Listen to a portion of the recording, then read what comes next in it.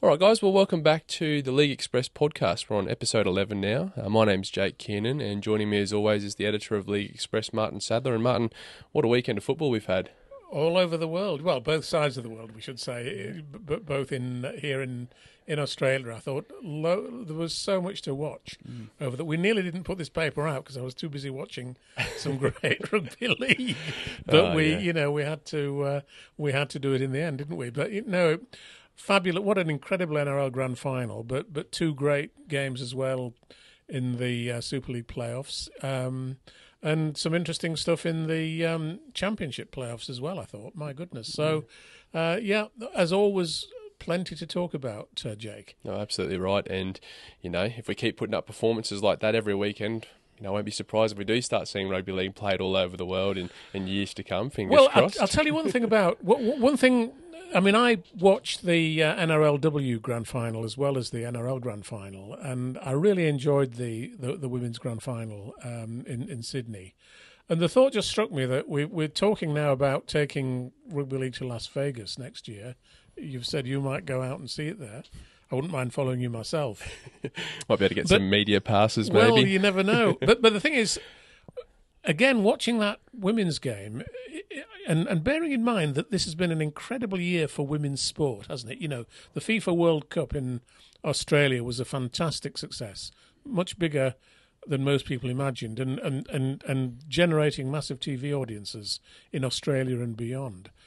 So there's been a massive emphasis on women's sport this year, and I think the NRL will miss a trick if they don't take a couple of women's teams out to Las Vegas with them because in in the United States, there's a great interest in women's sport uh, of various sorts, and I think for, for for Americans, I mean, you know, you think about Americans watching rugby league and marveling at how these players play without enormous pads and so on, which is always a reaction over there.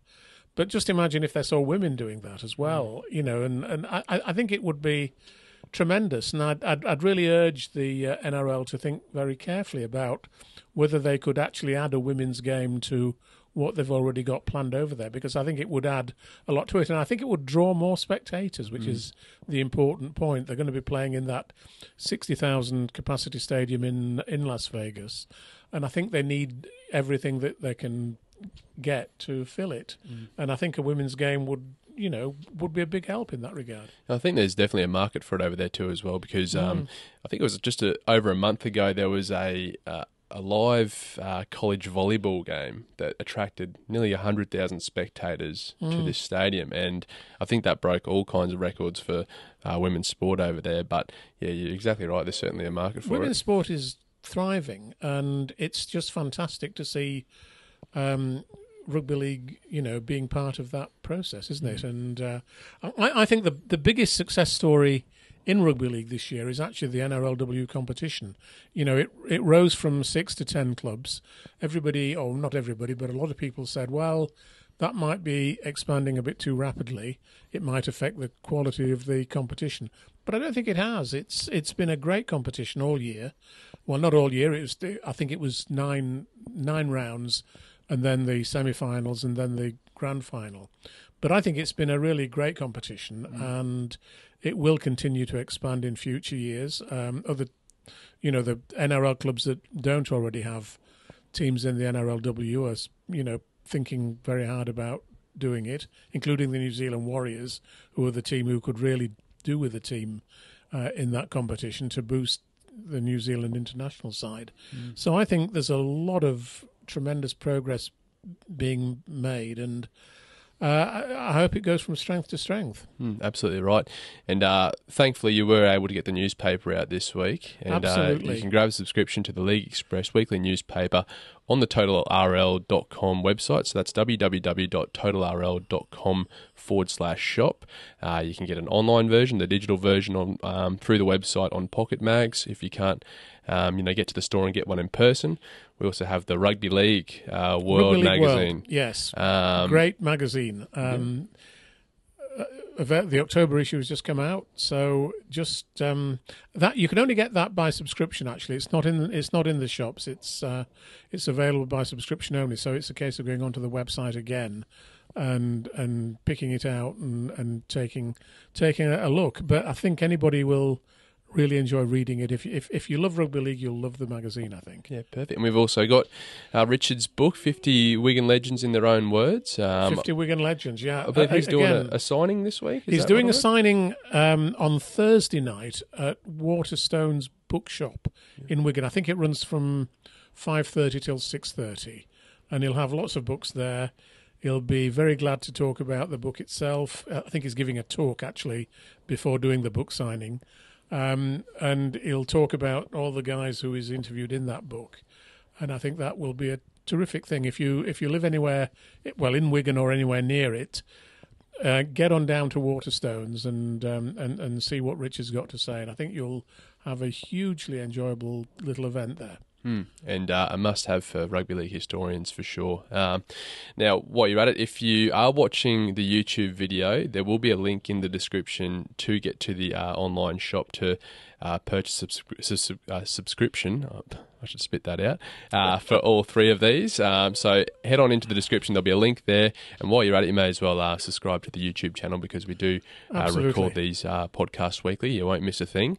Um, but without further ado, we may as well get into the why don't we kick off with the NRL Grand Final? Um, well, I was wondering. I was wondering. yeah, I was wondering whether you'd want to talk about it as a Broncos supporter. I mean, twenty-four-eight with seventeen minutes to go. The Bronco uh, Ezra, Ezra Mam had scored a fantastic hat trick of tries. What a great player! Um, Reece Walsh had made one of them and, and looked absolutely terrific. I think the commentators said that Bris- the Brisbane Broncos were sailing home, or mm. words to that to that effect. And I can only imagine that maybe Nathan Cleary heard what they said because yep. at that point he just took control of the game um, and created three twelve, scored the, the final try himself, but but played a huge part in two others and kicked that incredible 40-20, didn't mm. he? Which which put them in, in an attacking position. And I mean, a lot of people are saying his performance was possibly the greatest single individual performance in a grand final that we've ever seen. And when you think about them coming back from 16 points down with 17 minutes to go, you've got to say that must be true, mustn't it? Can you think mm. of a mm. better grand final performance from anybody? Uh, off the top of my head, um, not really. I just think that that 20 minute stint he had, that's the most impactful 20 minutes of rugby league I've ever seen in my life, let alone yeah on the grand final stage. It's certainly up there with one of the best performances I've ever seen. Um, what I would love to know is how many Penrith supporters, just before that comeback started, when they were 24 8 down, did many Penrith supporters leave the stadium thinking they'd lost the game? Yeah, I'd I'd, I'd, love to know that. Because, There's been uh, a few reports saying that they saw Penrith Panthers fans leaving. Yeah. Um, I saw an interesting post uh, someone was asking, did you know any supporters that left the stadium? And unfortunately, one poor Penrith uh, Panthers supporter commented, I did leave, but it wasn't because of the scoreline. He said that his daughter was uh, having a bit of a meltdown because of how loud the crowd was. So unfortunately, right. he left right as the Broncos were starting to ramp things up. But yeah. he said some things in life, you know, sometimes you have to choose family over the Penrith Panthers. And uh, yeah. he said he listened to it on the radio on the way home and was still stoked that they got the win. But you have to think it must be disappointing to miss out on that one. well, it's funny, you know, I can remember a match many years ago when Wigan were playing at Bradford, and um, with just over 10 minutes to go, there were 30 points to six down. And there were a lot of Wigan fans there, and they all started leaving at that point. Mm. And in the last 10 minutes, Wigan scored 25 points and won the game 31 30. So the moral of the story is never give up on your side. Mm. Um, always stay to the end because you never quite know whether they can come back and win a game that they look to be losing. And um, but it was sad for Brisbane because obviously they only had a less than two minutes left when they had to kick off the final time hmm. on Sunday, and they were never going to, you know, get the uh, get the win back, were they? So. Hmm. Um, sad experience for them and, and, and, their fans who must have been so jubilant at one point. But um, that's just the drama of rugby league, isn't it? Mm. It's just that's why it's such a great sport. We we love it, and we love it when incredible things happen on the field, and, and certainly in the NRL Grand Final they did, and mm. uh, just a wonderful game. Yeah, it was.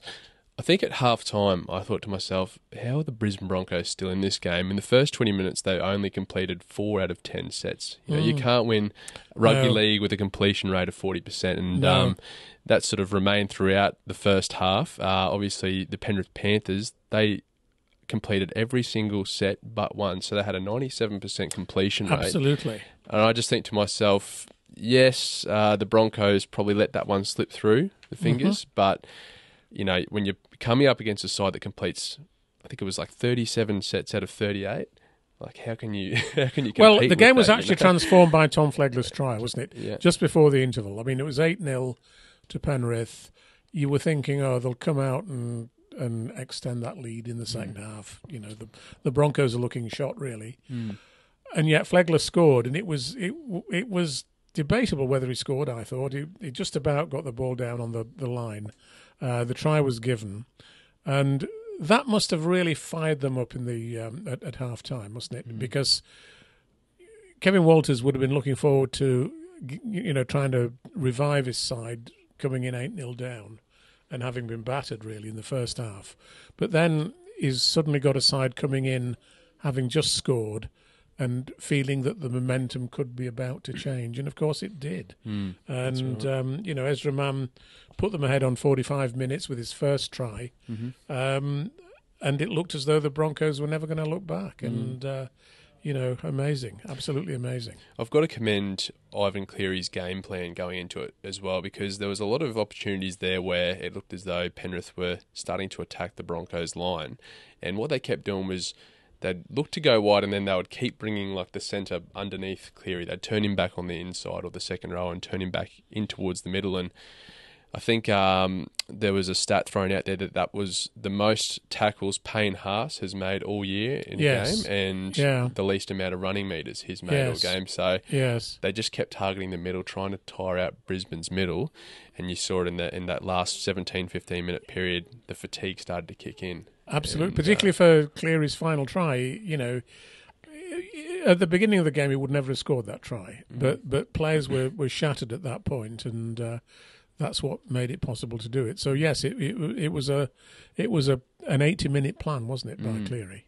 And I think when Moses Leota scored that first try after Ezra Mam's three, uh, I thought to myself, Ooh, the momentum started to shift a little bit. But it wasn't until Cleary hit that 40-20 where I felt the dagger go through my heart as a Broncos fan. I just thought, oh no, here come the Panthers. And Yeah, to kick that ball on third tackle and absolutely nail the 40 20 from, I think it was on his 30, yeah. it was like he was a man possessed out there on the field. I'll tell you one thing that's worth remembering. Um, back in 2020, the Panthers were, it was the first of their four successive years in the grand final, and they played Melbourne, Melbourne Storm. And similarly, they were behind by a similar sort of an amount, um, you know, uh, halfway through the second half. And just as they did against Brisbane, they came back that day against Melbourne, but just didn't quite manage to win it in the end. Melbourne just about held on, but they were looking equally shattered. And you could see Craig Bellamy. If, if you look back at that game, you could see the anxiety on Craig Bellamy's face. he knew that you know another five minutes and Penrith would have won it, Yeah. uh, but they ran out of time. And I think they've lear- they learned a lot from that game actually. Um, and you know, but but but but but but the central point is never give up, never accept that you're beaten, and they didn't. And uh, right. it was it was really what the headline we've got in League Express is a performance for the ages, and it certainly was. And what also highlights Cleary's um, performances, he also lost Jerome Luai and Isaiah Yo to did, yeah, Luai's amazing. shoulder, Yo's Yeah. concussion, and for him to orchestrate that comeback uh, right as those two sort of left the field. Obviously, uh, Jack Cogger came on from that utility um, role off the bench, and Ex Huddersfield Giants player. That's who, Who never shone at the Huddersfield Giants. Yeah. amazing. I thought once he came on, he did a great job of just um, really playing direct, and it, it really freed up Nathan Cleary on the outside. Like it gave him that little bit of space, and we saw it. That's when he set up that try for Leota. Um, just, I think it was he's an unsung hero almost. Um, no in this doubt side. about it.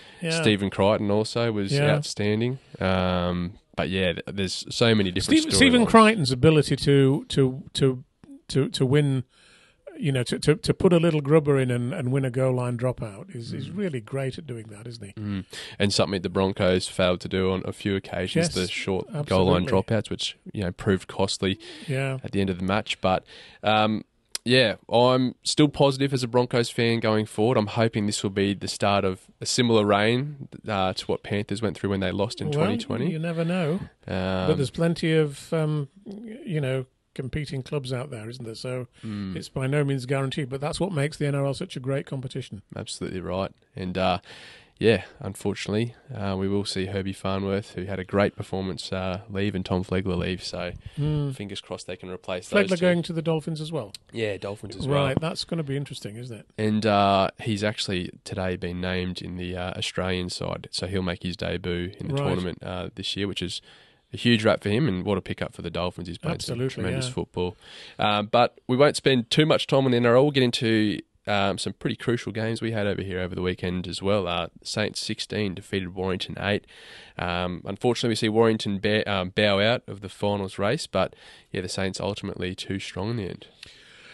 Yeah, and th- it was a game they had to win actually, because of course it was the f- last game at the Totally Wicked Stadium for James Roby and for Lou McCarthy Scarsbrook, who've been such incredible players for St Helens. And um, if they'd lost that game, it would have been shattering for them. I think. Yeah. Um, they, they, it, it, it was a difficult game for them because there was so much emotion riding, riding on it, um, and they they sort of bottled it up a bit until the very end, um, and then it, you know the the fans were able to pay tribute to Roby and and to LMS, you know, in in, in the best way possible, but.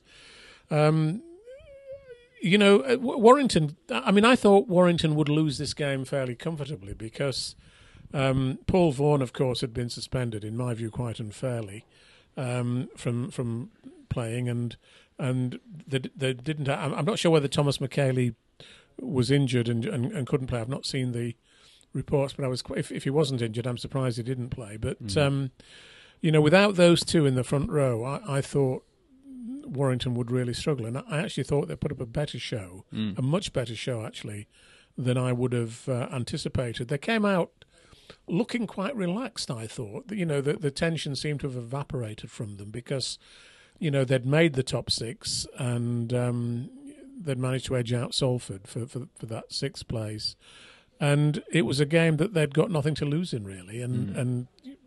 Stefan Ratchford led them out, as I say, looking very relaxed. And at one point in the second half, they drew back to eight all. Um, they, they scored a great try. I thought, uh, um, you know, young, um, gosh, what's his name now? I almost forgot. Connor Wrench, it was, of course, um, scored a, a terrific try. Um, sold a great dummy to Jack Welsby and almost crawled over the line actually b by the end. But uh, absolutely marvelous time. Then they got a penalty to level the scores at eight all, and you, you you began to think the unthinkable. Could they actually shock Saints? But very soon after that, um, Peter Matautia dropped a ball, and that turned the momentum back in Saints' favour. Soon afterwards, um, Tommy Makinson scored the decisive try, and then they um, got a, a penalty to make it 16-8 um, towards the end, and the game was over for Warrington. But um, you know, fascinating, fascinating game, and uh, James Roby. The, the only thing that disappointed me about the game, Jake, in in a sense, um, is that in my view, James Roby is such a iconic player, and you know, it was his coincidentally his 550th game for St Helens, which is just to you as a Australian must be unbelievable that anybody would would play that many games because we play more games than you, of course. Yep. Um, my disappointment was that Saints didn't manage to get a full house for for such a an iconic moment. You know, people in 50 years' time who were there as kids will be able to say that they saw the last home game that James Roby played at um, St Helens home ground, and you know you can't. It's just something to to remember, and it, it tells you a lot about our sport and how poor we are at, at, at making stars of our players. That the whole of the rugby league world didn't want to be there to to, to witness that um, that final game at that at that wonderful venue. Yeah, I'm surprised they didn't make more of an effort to really um, do like a an almost like an on-field ceremony that was televised and uh, Yeah. presented an award. Because I know, like back home, um, like when a player reaches game 300, or even Cam Smith when he reached 400 games, they did a, a huge celebration for it and uh, televised we it for the audience. doing that over here. We we we don't do it. And um, just going back to the NRL Grand Final for a moment, one of my favourite parts of the NRL Grand Final day, the presentation, is when they, you know, present all the retiring players. uh, Mm. You know, before the game, um, they announce them all. They've got banners with their names on, and um, they introduce each player individually to the crowd, which I just think is a marvelous thing. Mm. And we don't do that. And we, for example, in the past few years, we if you look at the our grand final match program, it does refer to the reti- players who are retiring, but we don't present them on the day, and that's just, you know, I think we should be we should always we should always celebrate those players who have achieved great things in the game, and if we do it, for example, at the grand final, we'd attract more people to to watch it because people who played for, you know, players who played for different clubs other than those that are there on the grand final day would, would come to see wave goodbye to the players. I think Mm. so. We're missing a trick, but then we always do in rugby league in this country. Yeah, that's right. And um, I read your piece about it in uh, League Express this week, and um, you know we even celebrated Lachlan Coote, who um, Yeah, you know came over here and finished his career over here. So Yeah, um, Brad Takairangi finished over here as well. Didn't That's he? right. That's Yeah. right. So I think it's the least that uh, you know the Super League can do, considering that you know, these players put a lot on the line to play you know 10, 15 years in this league. Um, you know, putting their body at risk every single weekend, and you know it's it's a little gesture, Of course. um, that can easily be done. So yeah, a bit disappointing, but. Um, Few controversial storylines out of this, or not so much controversial, but obviously we see uh, George Williams receiving a one-match ban, um, which will see him miss game one against Tonga, which will be quite disappointing. That will be incredibly disappointing. Yeah, uh, you know it. it um, I mean, I'm not even sure what he what he was done for. If I'm, I mean, it, it was uh, shoulder charge. wasn't it? yeah, yeah, shoulder yeah, charge. you know, it, we we we just we, we love sticking um, the knife in ourselves, don't we? Yeah, In this country, it's just like ah, you know, he and especially because he, he's the captain, so he'll be going. yeah, He's a vocal point of that uh, England side, and yeah. yeah, it's a bit disappointing. If but I'm if I'm if, if if you don't mind me saying this, Jake, I don't think the Aussies would ever do that to themselves. no, no, no. Well, you can't imagine. Uh, yeah, back in the day, Cam Smith missing uh, international games. Um, or, or Nathan Cleary, if Nathan right. Cleary, you know, if I mean, I know he's possibly got a bit an injury problem at the moment, which might keep him out of Australia's games in the Pacific Championship, but they they don't do that to themselves, do Mm. they? No, and it's like I think uh, even this year might have started last year actually, but in the state of origin arena, usually when there are offences committed, they'll opt to give them a fine instead of a Mm. suspension, so it doesn't impact them at club level. Absolutely. And surely something like that could be taken into consideration. Well, Uh, the thing is, the, the the thing is that, in my view, and it, and, it, and and we can include this business about the three Wigan players who served a suspension because they were in the reserve grand final mhm. at the weekend.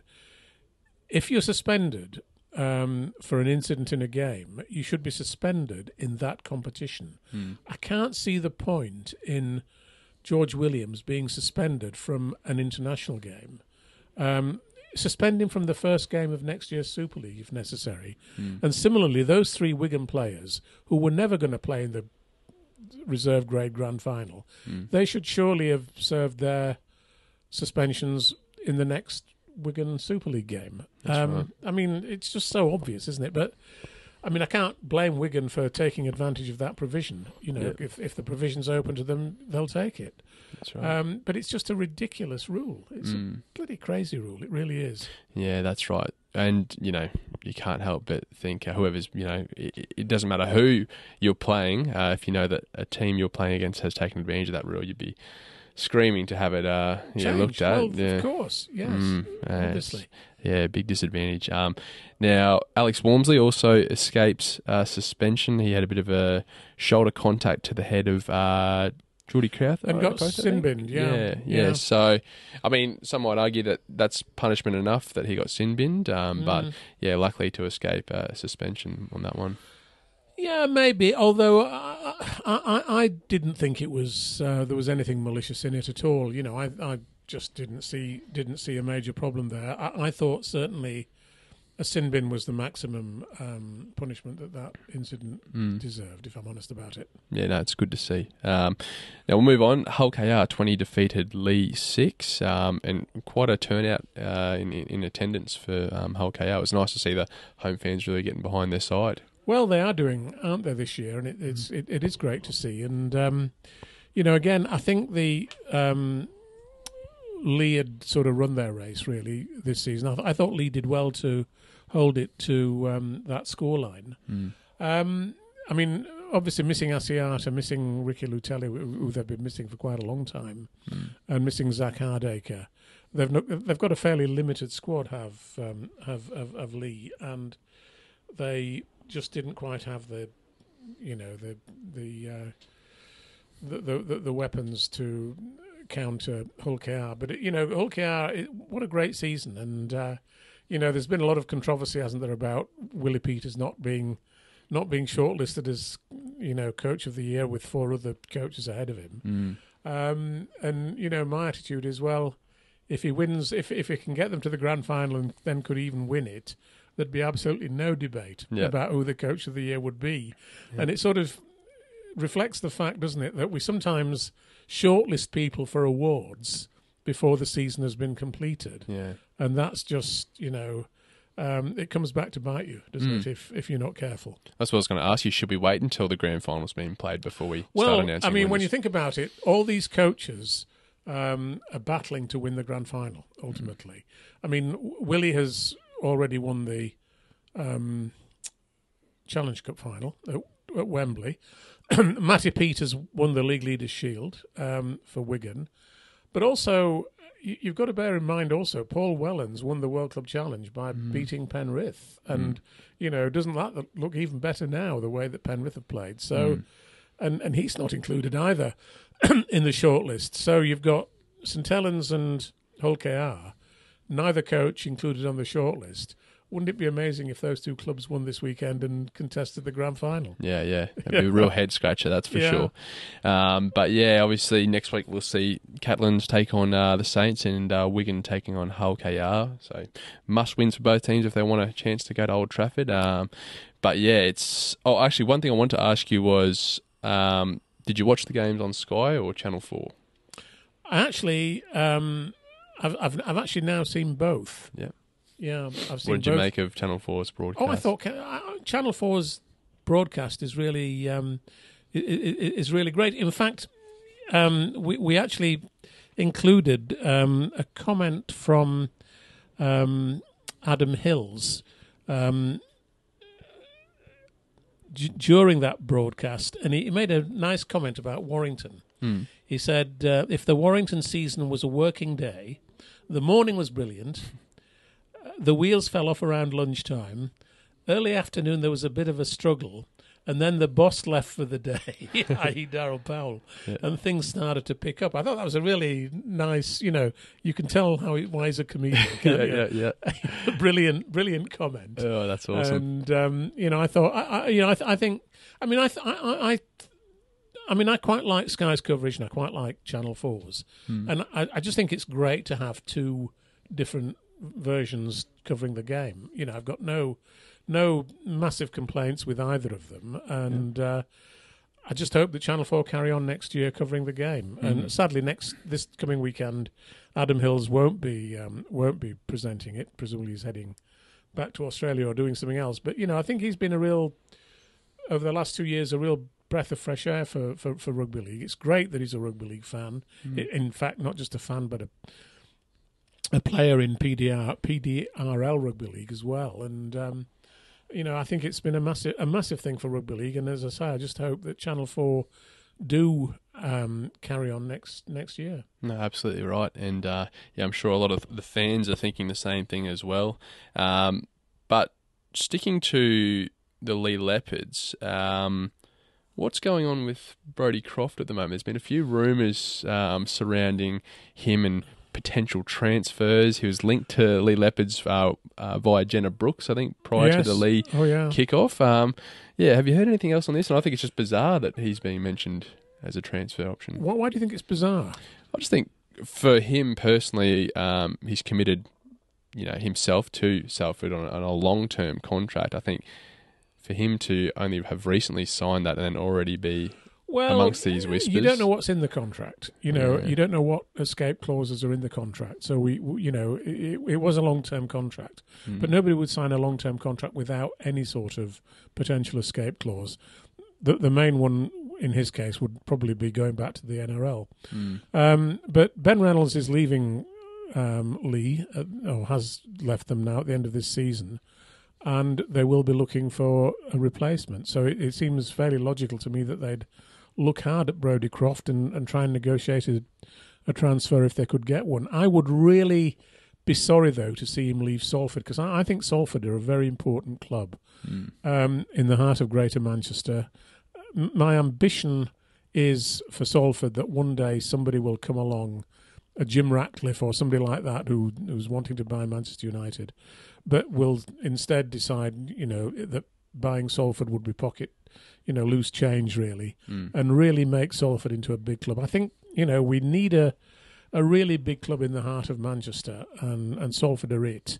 And I think you know if if we could get Salford really challenging with some really great players, um, expanding on the community work that they already do, which is a great a great thing for that club, um, and filling the stadium. I, yeah, the, the thing that makes me really frustrated is to see the joint tenants at that stadium, Sale Sharks, playing rugby union and getting bigger crowds than Salford Red Devils. Mm. I think, you know, if I had any influence anywhere, I would be dedicated to reversing that situation Yeah. because you know it's it's Salford Stadium, and I think we we need to have them playing at the level that um, at some point they'll be demanding that the stadium be extended. Yeah, absolutely. And with Ben Reynolds, do you feel as though it's just a waiting game now to see what happens with the Rovers uh, to decide his future? Oh yes, I mean they, they won't sign him if they don't get promoted, and Mhm. um,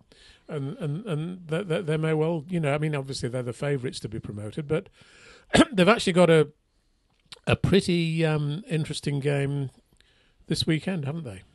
Yeah. Featherstone Rovers. They're they.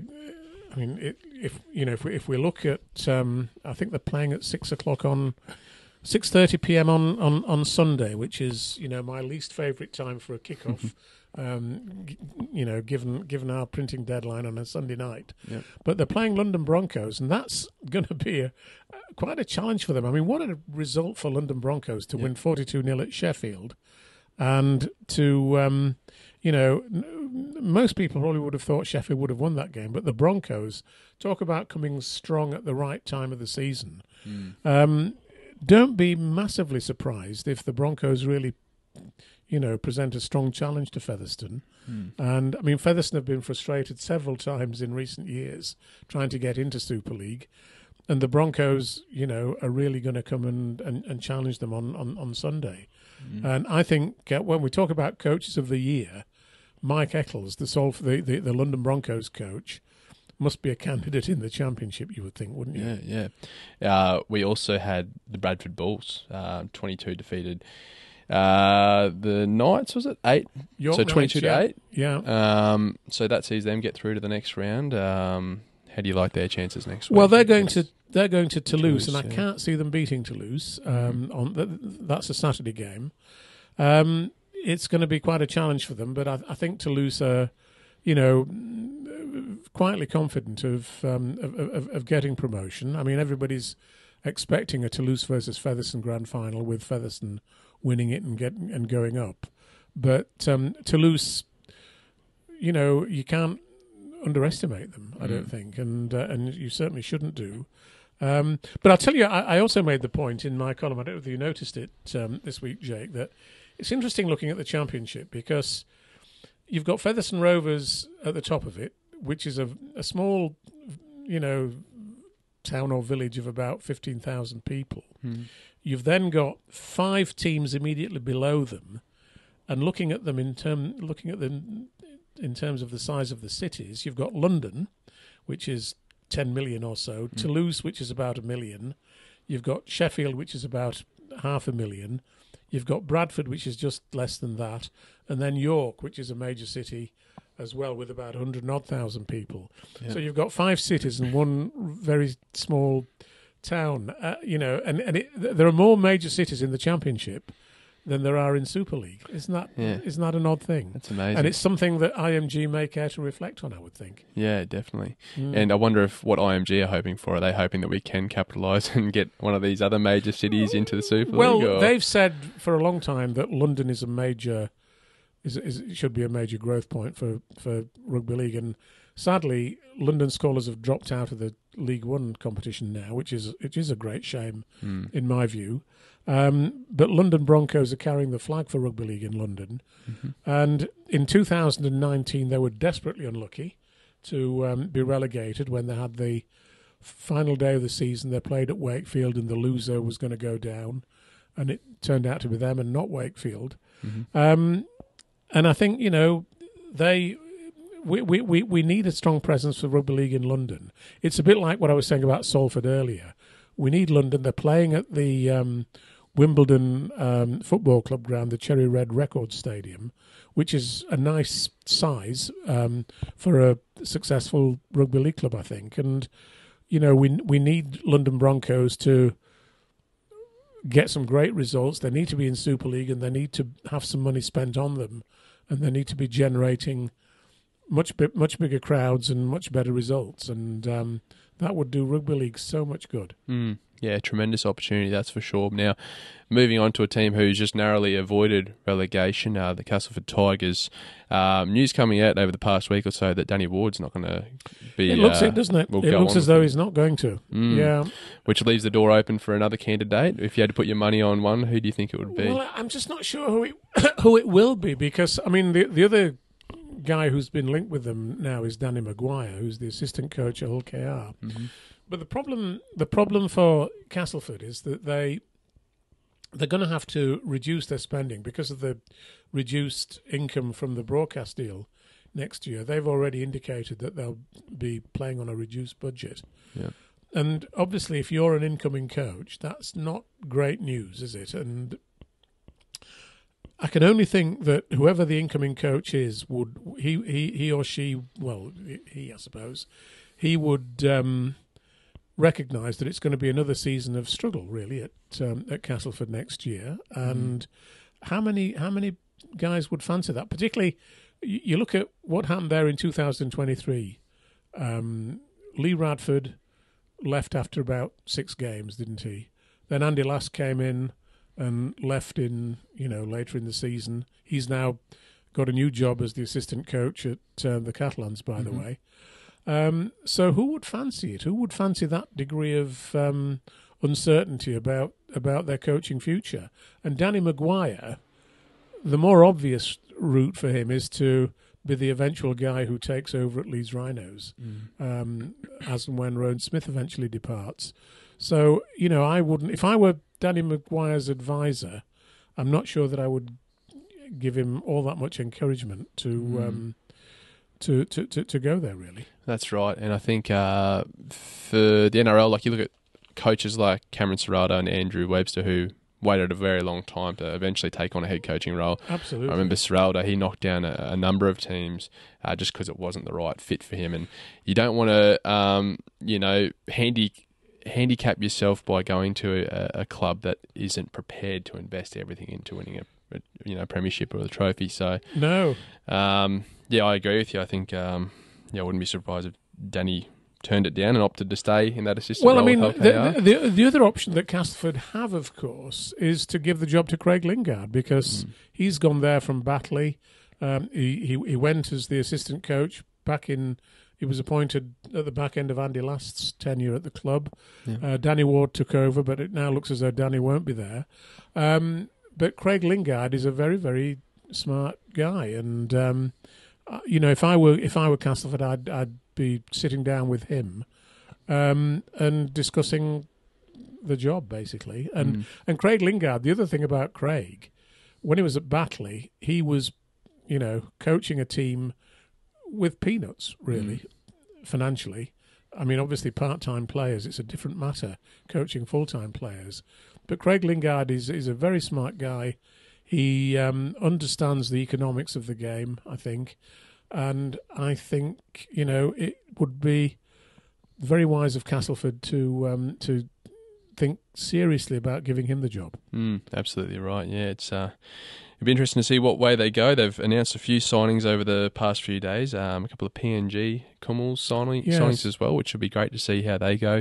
And the Super League. Obviously, we've seen the great success of Edwin Ipape this year. Absolutely. Um, and and of course, the um, PNG um, played against the Aussie Pres- Prime Minister's 13 a week or so ago and, and took them pretty close, didn't they? Yeah, absolutely. And just the the scenes that were coming out of PNG uh, as the Australian bus was sort of pulling away from the airport. Mm. There was a lot of fans running along beside the bus. They just yeah, love their rugby league over They there. do, yeah. Um, it's like Hollywood superstars walking in if you're Absolutely, a rugby league yeah. player. yeah. Um, but yeah, so you touched on it before. Andy Last joins the Catalans as an assistant coach. Um, I think this is probably a great move for his uh, coaching career to you know operate under Steve McNamara. I think Andy Last is a better assistant coach than head coach. Mm. He's a very technically very astute guy, um, but I think he just sort of when he was at Castleford, um, he was almost too much of a let's say a nerd, really, looking at you know the the, the, the detailed um,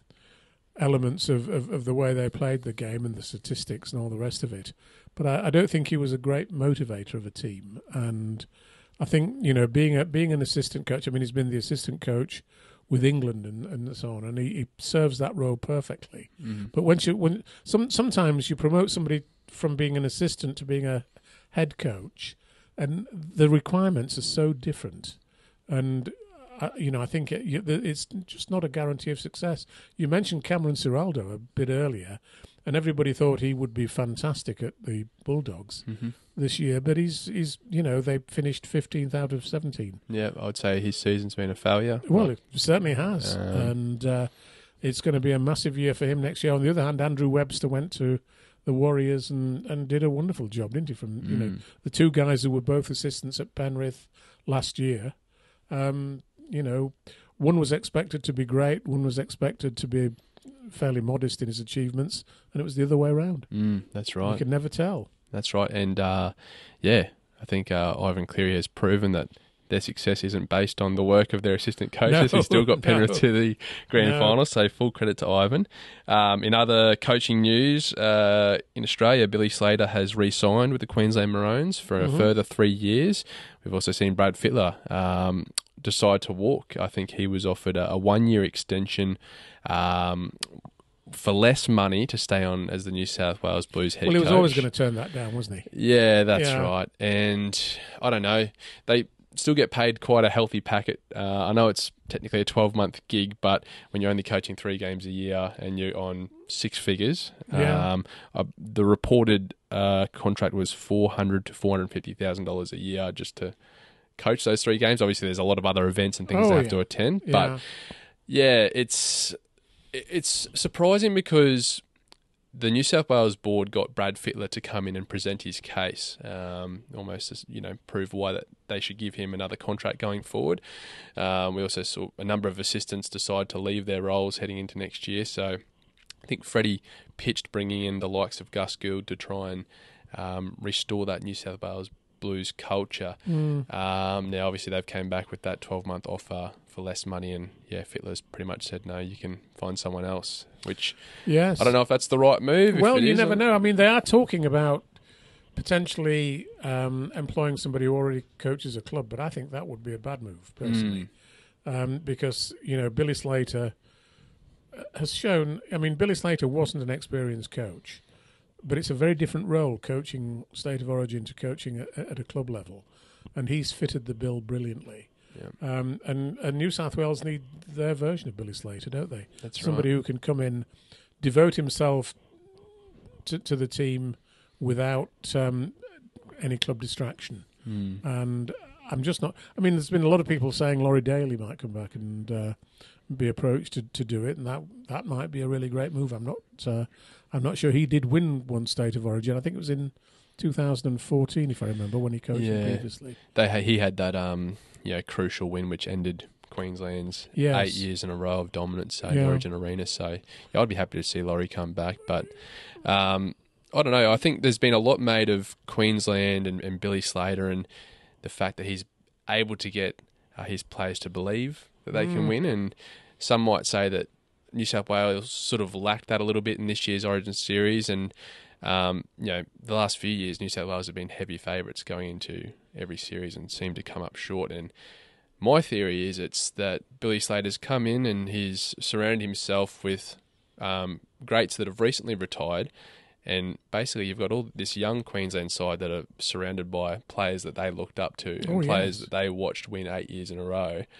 And whereas for the young Blues players in that squad, you know, they've grown up watching New South Wales lose every year. You know, I just wonder whether there's been a bit of a losing sort of mentality that's been I think there's a lot in that. Adopted? Yeah, I think psychologically there's a lot in that. If you expect to lose, then you do lose, don't Mm. you? And if you expect to win, you very often do win. that's right. But but one of the things about Billy Slater, if if you actually look at the press conferences, the post game press conferences from this year's State of Origin, Billy Slater speaks incredibly well, um, as does Daly Cherry Evans. You know, when they were sitting there after that first game in uh, in Adelaide this year, and when they'd come back and and won it at the end, a bit like Penrith did on on Sunday in the NRL Grand Final Mhm. you, you you look at that and you think, well, you know, th- they have engendered this incredible spirit of never n- never surrendering, you know, right to the final hooter, and you could see that the the way they spoke about being a Queenslander in that um, in that press conference, it was actually. You know, I, I could have imagined being a Queenslander and being, you know, quite inspired by what they said. Mm. And you never get the same thing from the New South Wales coaching team, whoever it, whoever it might be. Yeah. It, it it doesn't make your hair stand on end, Mm. and they need to get somebody who can make the Blues realise that you know it, it, counts for such a lot. Mm. And I don't know who that. I don't, just don't know who that's going to be. Yeah, for me, it's you've got to somehow convince Joey Johns to go in and be the head coach, but Mm. he's repeatedly said he's not interested and doesn't want that Mm. stress and pressure on his shoulders, which you can understand. But yes. you watch him after a New South Wales loss in the commentary box, and he's the most passionate. Oh, you can almost say he's a sore loser at times. there's no doubt about it. Yeah.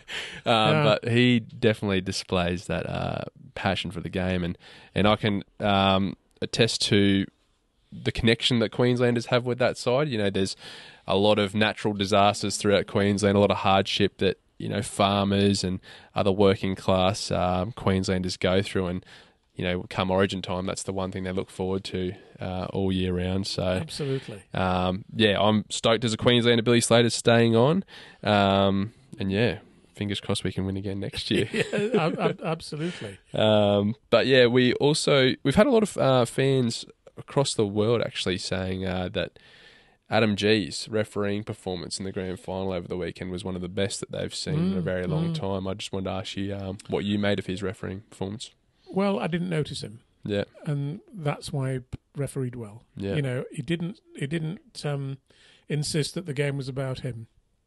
He gave very few penalties. I think the penalty count was what was it, two to three, hmm um, and wasn't fooled by any player who tried to stay down and milk a penalty. that's right. He just waved the waved the game on, and the players got up and carried on, and soon realised they weren't going to because that element of milking penalties is creeping into the game. Mm. and you know as a referee i mean it's a fine judgment actually because sometimes if you do wave play on and then the player is injured that you'd it'd come back to haunt you wouldn't it but yeah. but he got all the calls right and that was um, that was terrific and you know good good for him No, absolutely. And I think there was a lot of calls there that could have been penalties on both sides. Uh, but the fact that he let them play on, I think, even as a Bronx fan who you know, obviously has lost, um, can't commend him highly enough uh, for his uh, performance, that's for sure. yeah Um, just looking at other news, so yeah, we've had the Australian squad announced today. Some of the debutantes include Selwyn Cobbo, Tom Flegler, Kotoni Staggs has Oh, been brilliant. named. yeah Um, so unfortunately, he won't be a part of the Tongan side um, Mm. coming over. and uh, Hamiso Tabuai-Fidow has also been named in the Australian squad. So, mm. so that four very weakens. good debutants. Yeah, that weakens the Tongan squad a bit, doesn't it? And Mm. uh, which, from England's point of view, might be no no bad thing. Um, yeah, uh, it's going to be an interesting concept, the Pacific Championship, isn't it? I mean, what's really interesting is, you know, the the Kangaroos at one time were a, an iconic side. Um, I, I remember the 1982 Kangaroos. The you know were just incredible, as were the 1986 Kangaroos and even the 1990 Mhm. Kangaroos. You know, we, we filled Old Trafford for the first test that year. Um, and yet, because they've played so little international games, other Australian national sides have overtaken them Mm. in their sort of iconic status. Uh, so, so this year, for example, we had the the Matildas, the um, Australian women's football team, um, getting a fantastic degree of um, of, of, of coverage, um, both in Australia and beyond. So you know, but but we've also seen the the, the Wallabies fail in the Rugby Union World Cup, um, and for many years they were you're probably a, a more valuable brand than the Kangaroos. Mm. The Kangaroos need to win that position back again, and Mm. hopefully, the um, the Pacific Championship this year will go some way to helping them to do that. Absolutely. And uh, competing in that tournament is Samoa. They've also announced their squad today. Uh, a few new debutants as well. Uh, Murray Taulagi, who wasn't selected for Australia, he's going to represent Samoa. Um, we've also had, where are we here? Can't read my own writing. Um, Heilum Luki, the young back rower from the North Queensland Cowboys, he's going to get his debut. Who's a promising up and coming player. Luciano Luciano Leilua from the Cowboys will get his. Um, and Keenan Palasia is also going to debut. Yeah, There's also two youngsters. Um, Sua Fa'alogo, the youngster fullback From for Storm. Storm. He's going to play for Samoa. who had a brilliant game a few weeks ago, didn't he, in, Yeah. in Brisbane? That's right. And one of the all-time great rugby league names, Gordon Chan Kum Tong, who debuted for the Manly Sea Eagles Right. uh, towards the end of the season. He's a young hooker, up and Yeah. coming. I just think that's a oh, there's so much Samoan talent in rugby league, isn't there, at the moment? Oh, they, they- yeah. they might just be a bit too inexperienced to to do well in the competition this year, though. I, w- I would imagine. yeah, absolutely. But just talking about, um, you know, representative. I, I mentioned the Matildas a few minutes ago. I just want to mention one thing that w- occurred in the um, NRL Women's Grand Final because the the Knights had a, a, a young woman called Sheridan Gallagher playing on the wing for them, and last year she was the captain of the uh, Matildas under twenties football side.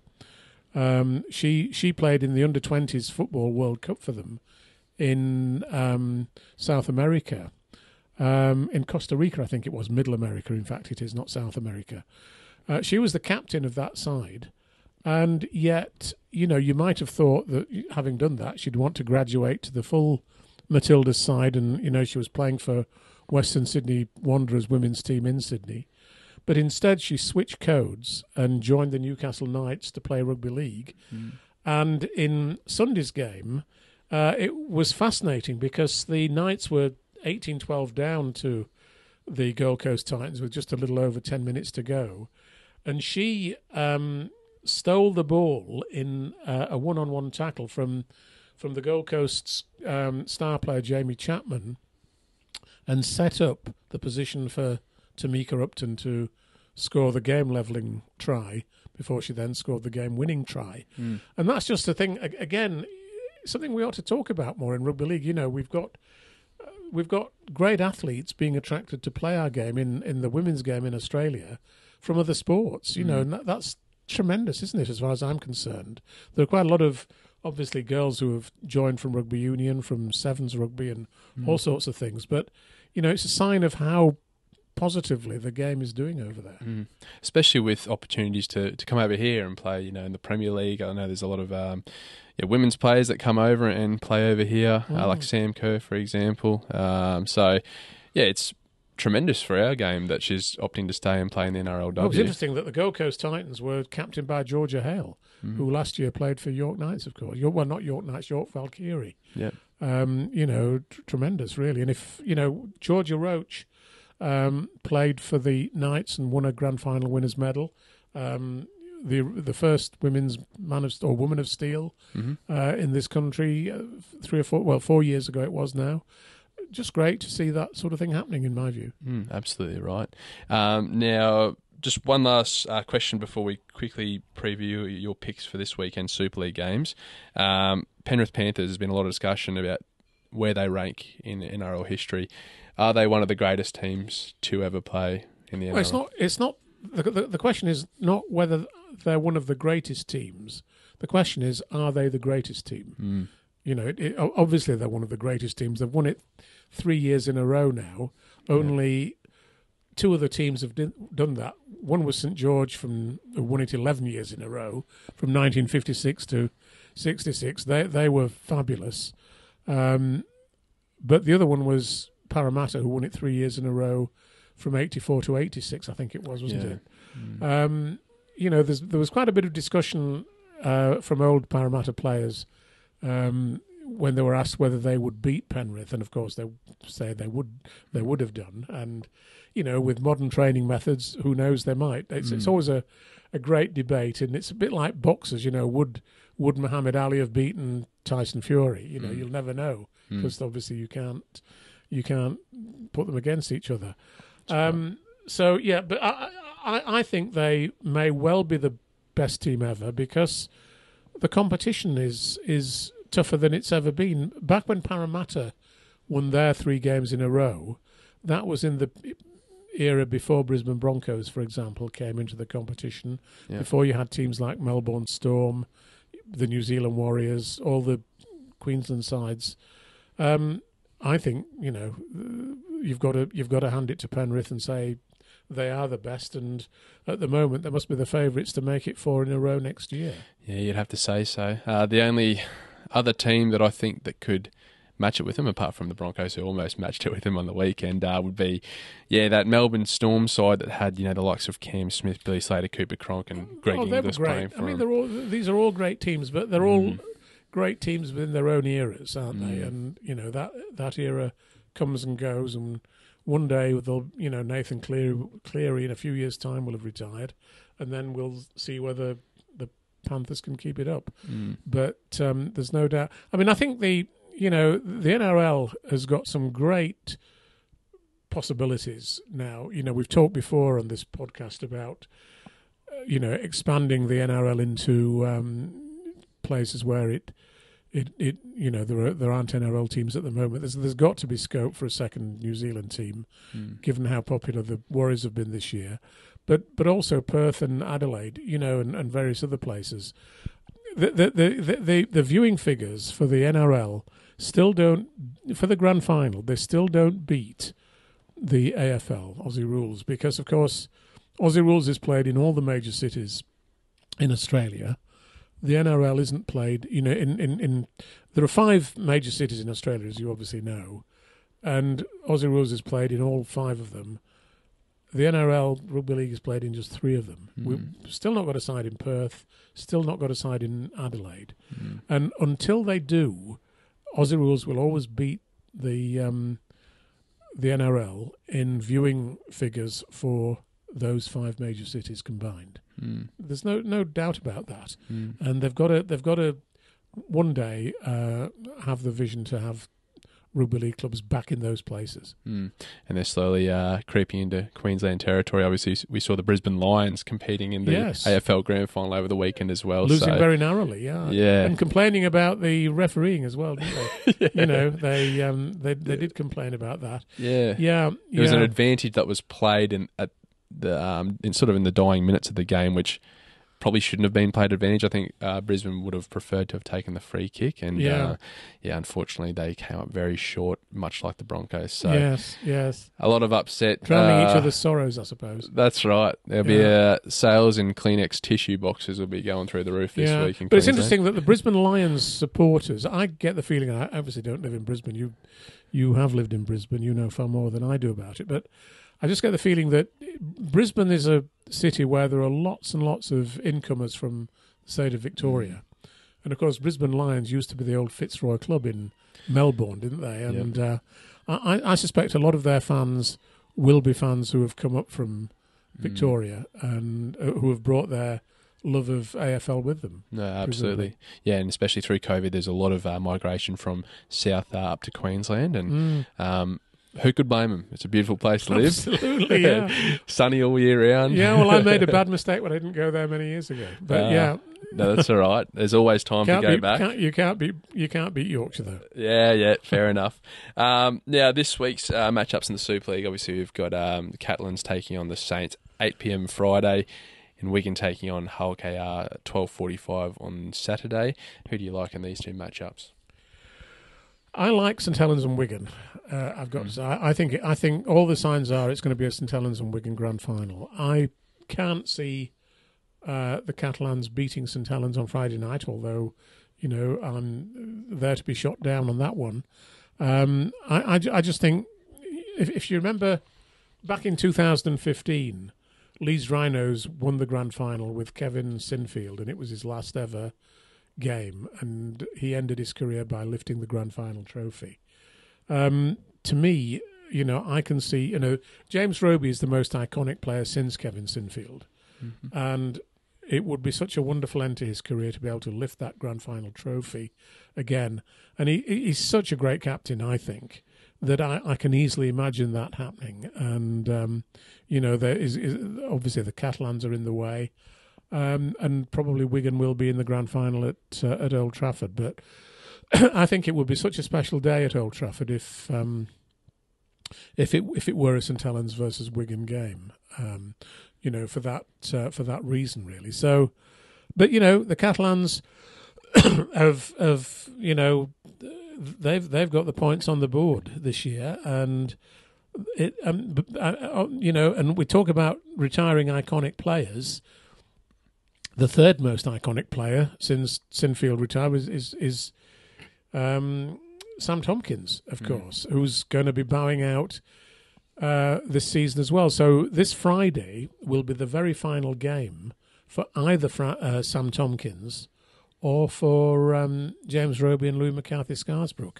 So you know, and if Sam Tomkins were at uh, Old Trafford on on October the fourteenth, that would be equally you know, an equally great event. So uh, it's you know, but I, I, still think Saints and Wigan uh, will be will be the two clubs there. Hmm. And you've been sort of predicting that for a while now. And Oh, yeah, uh, yeah. So Yeah. um, yeah, I'm sure you'll appreciate if you can correctly Well, predict that. A- anybody who goes on what I predict will be very foolish, actually. Oh, no, that's all right. Yeah, it's um, yeah, shaping up to be a really good weekend of football. That's for sure. Uh, is there anything else you'd like to get into? Anything else you'd like to mention before we wrap things up here today, Martyn? well, the only thing, the only final thing, probably there's been a lot of debate about what the future of League One will be in the Championship, given that London Skolars have dropped out. There will only be nine teams in League One next year.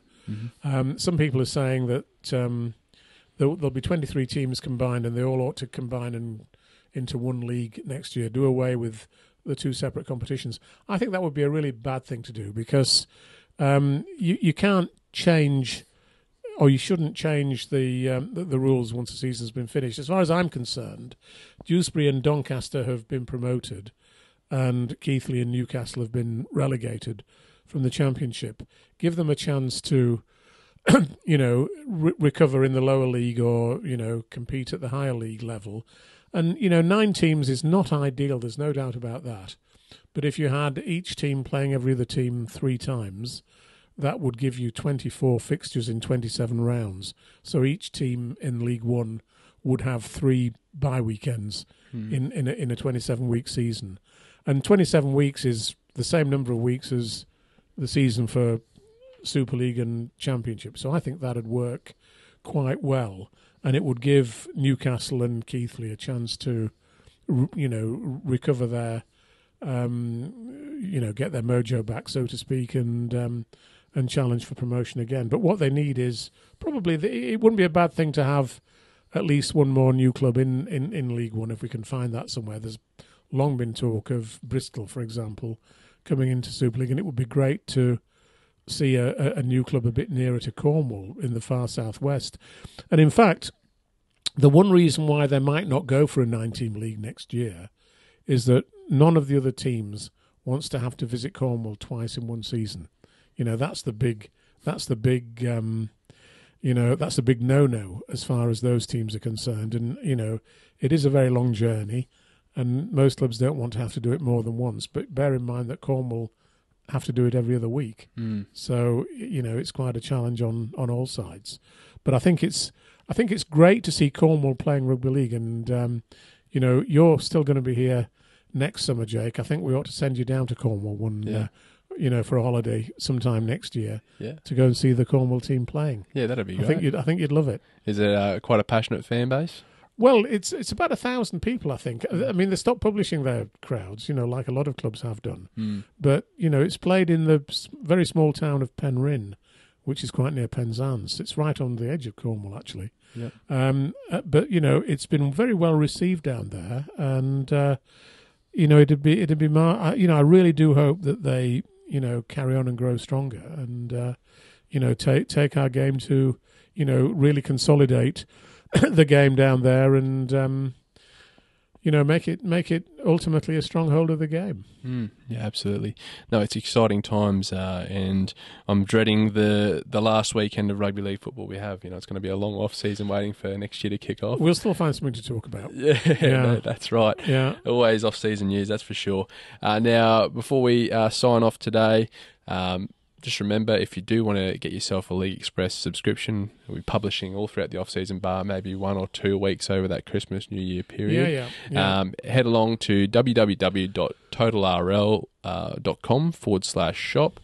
Grab yourself a Rugby League World magazine subscription while you're there as well, and maybe a copy of uh, Richard de la Riviere's book, um, 50 Wigan Legends in Their Own Words. well worth well worth buying and reading. It's a great book. Yeah, absolutely. And uh, if you're still with us, um, watching on YouTube or listening on Spotify, Google, or Apple, don't forget you can subscribe on YouTube if you do want to sit there and watch Martyn and I discuss the news every week.